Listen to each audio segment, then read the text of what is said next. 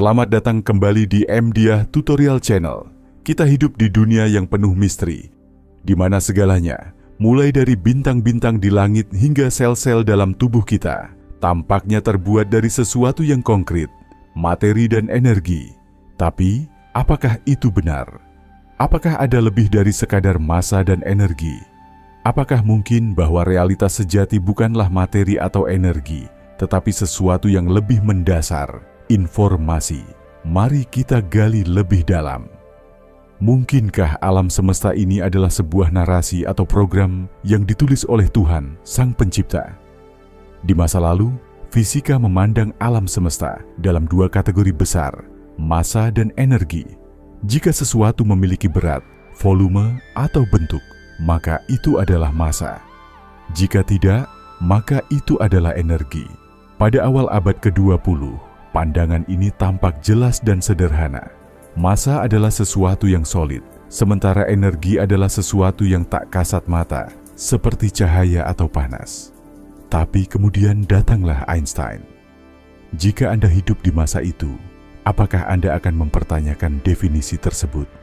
Mengapa sesuatu yang tidak terlihat disebut energi dan sesuatu yang tampak nyata disebut massa? Einstein dan revolusi E sama dengan MC kuadrat. Ketika Einstein memperkenalkan rumus fenomenal E sama dengan MC kuadrat, segalanya berubah. Masa tidak lagi statis, masa bisa diubah menjadi energi, dan sebaliknya. Bayangkan masa sebagai energi yang terperangkap. Bom atom dan reaktor nuklir adalah bukti nyata dari transformasi ini. Masa sebuah atom bisa dilepaskan dalam bentuk energi yang luar biasa besar. Sebagai contoh, energi yang dilepaskan dari satu gram uranium setara dengan membakar sekitar tiga ton batu bara. Jika masa hanyalah energi yang terperangkap, apa sebenarnya definisi realitas? Apakah yang kita anggap sebagai benda hanyalah ilusi dari energi yang bergerak lambat? Teori modern, informasi sebagai dasar segalanya namun, fisika modern membawa kita lebih jauh. Konsep baru seperti teori string dan fisika kuantum menyatakan bahwa masa mungkin bukanlah sesuatu yang fundamental. Sebaliknya, semua materi dan energi bisa jadi hanyalah manifestasi dari informasi. Dalam teori string, partikel bukanlah titik kecil, melainkan getaran dalam dawai super kecil. Informasi tentang getaran tersebut menentukan apakah sesuatu itu elektron, proton, atau partikel lainnya. Pikirkan DNA. Makhluk hidup, termasuk kita, sebenarnya hanyalah kode informasi. DNA adalah manual instruksi kehidupan. Semua sifat fisik kita berasal dari informasi ini. Jika manusia hanyalah kumpulan informasi dalam DNA, Apakah mungkin seluruh alam semesta hanyalah sebuah program besar yang berjalan dengan kode tertentu?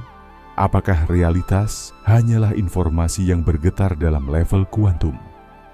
Teori holografik dan lubang hitam. Teori holografik menyatakan bahwa seluruh alam semesta mungkin adalah sebuah hologram, proyeksi dari informasi di permukaan ruang waktu. Lubang hitam, misalnya, menyimpan informasi di permukaannya. Bayangkan film 3D. Semua gambar yang kita lihat di layar sebenarnya berasal dari informasi yang diproyeksikan. Begitu juga alam semesta. Apa yang kita alami sebagai realitas mungkin adalah proyeksi dari informasi dasar yang ditulis oleh Sang Pencipta. Jika alam semesta adalah proyeksi holografik, apakah kehidupan kita hanyalah sebuah cerita yang sedang diputar? Era informasi dan AI, mikroversi alam semesta.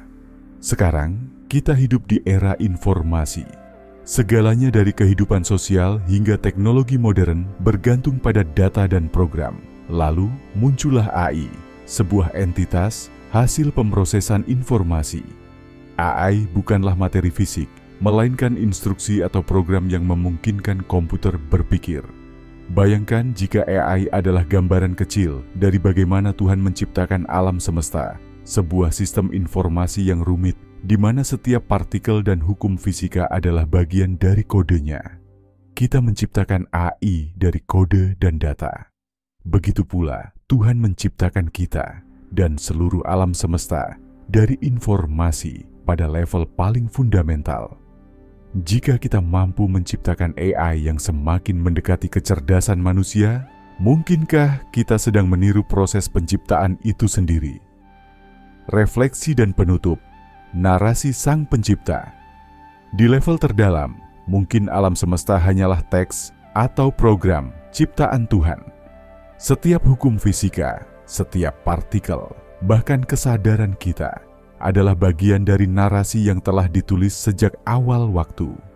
Manusia, dengan segala pencapaiannya, mungkin sedang berjalan menuju pemahaman ini, bahwa pada akhirnya kita dan seluruh alam semesta adalah informasi dalam program Tuhan. Apakah kita hanya penonton dalam narasi ini, ataukah kita juga memiliki peran aktif untuk memahami dan menjalankan kode penciptaan tersebut? Terima kasih telah mengikuti perjalanan ini. Alam semesta lebih dari sekadar materi dan energi. Ia adalah kisah, program, dan kode yang menanti untuk dipahami. Jangan berhenti bertanya karena setiap jawaban membawa kita lebih dekat pada Sang Pencipta. Terima kasih. Ayo klik like dan subscribe sahabat.